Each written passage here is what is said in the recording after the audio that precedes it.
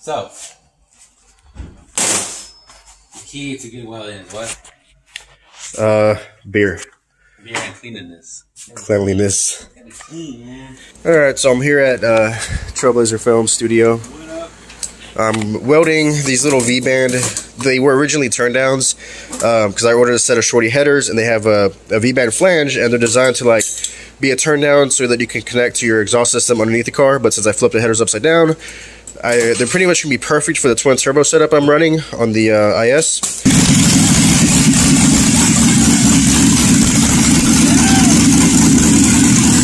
Be upside down like that. That's directly on the header, and then a T3 flange gonna be just like that. And I have this kind of rigged up on a jig. Uh, he's he always has everything I need. He had like these magnets, a level, so able to center it. He's got a pretty good welder.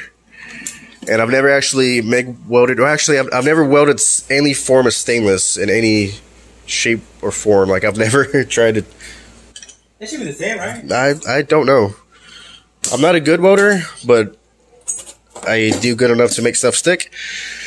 Um, but I know this is gonna be something that like everyone's gonna see. It's gonna be like sticking straight up into the air. So I'm gonna try to do a good job. But we'll see what happens. For the Turbo IS. LS Turbo LS. Wow. twin turbo LS swap Oh IS. my god, that's too much to say. You, like, you gotta think about what you just said. Like, right? what I'm doing now is, I'm gonna tack the inside, so it'll be kind of a good test. Okay. Did you turn the head on? Or the light on? You turn the. Oh, how do you do that? Open the. All right, here we go.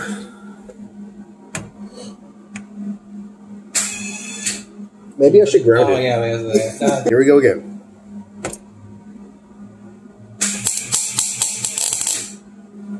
Whoa. Faster. Needs more heat.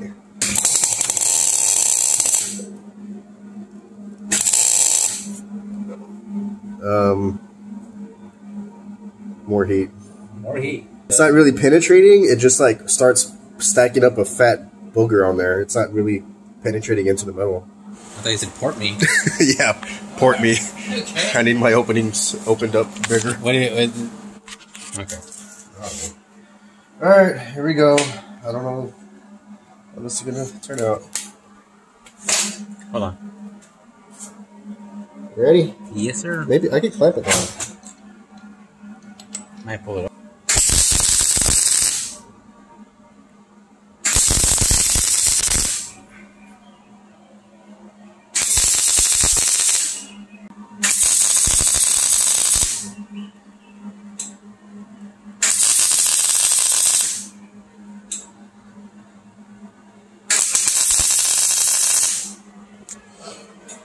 up. How's it looking? Good enough. Yeah, Maybe I should let it cool. Like, you think it would warp or something? I would. It's not that thick. It's permanently Maybe. attached to your table now. Yeah. actually, it's it's, it's It actually looks good. It, it does look different than the um, what's the other spool we used The, on the exhaust? Like just regular. just the regular welding. I don't know what they call it, but yeah, all right. it does kind of match though. It Just does. clean it up.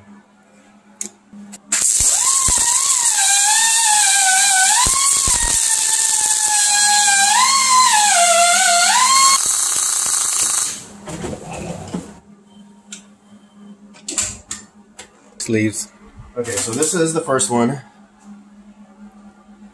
It's not perfect, but it'll definitely hold. No, that's good. Yeah, good enough, right? Yeah. I mean, eh. I feel like as time goes on, I'm, I'm, I'm slowly getting better and better over time. The more shit I will.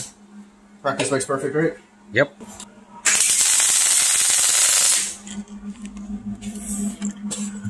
This is painful. Well, you're wearing a. I'm not wearing the right clothes for this.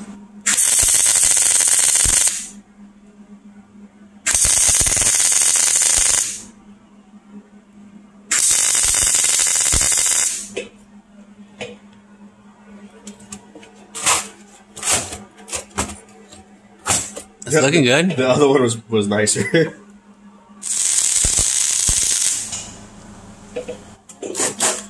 that is ugly. I don't look that bad, dude. Yeah, let's get some air. AC on. Can't breathe.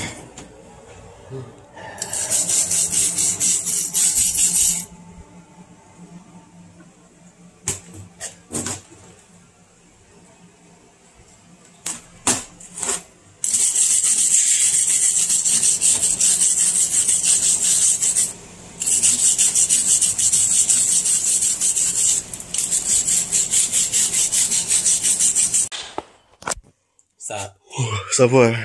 I'm sleepy. Shit, tell me, I'm tired too. Today's Saturday. Mm-hmm. Well, here we have it. The bottom portion is what I MIG welded. Uh, top is TIG welded. That came like that. The V-band was already welded to this little elbow. Um, just goes to show how clean and tight TIG welding can be as opposed to MIG welding. It's not pretty, but it gets the job done. It's going to hold. It's not going to leak. It's going to do its job. It's just not as easy on the eyes as TIG. So, I don't know. Eventually, I will get a TIG welder. But uh, for now, I'm just to keep making everything because that's what I have access to. And it's easier. You know, there's, I got there's a learning curve for TIG. As always, thank you for liking and subscribing. See you in the next video. Later.